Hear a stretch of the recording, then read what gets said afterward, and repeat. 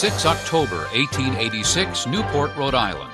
The U.S. Navy establishes the Naval War College to develop ideas and strategies for naval warfare and appoints Captain Alfred Thayer Mahan as one of four faculty members.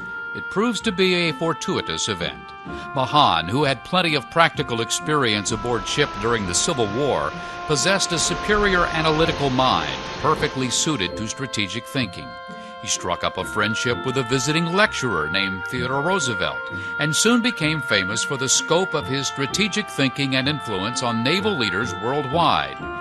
He organized his lectures into a number of books that were received to great acclaim, especially The Influence of Sea Power Upon History.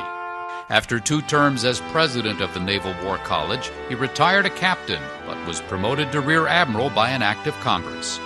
A class of destroyers bears the name of Rear Admiral Alfred Thayer Mahan, the world's foremost theorist of military sea power, whose considerable intellect served his nation so well.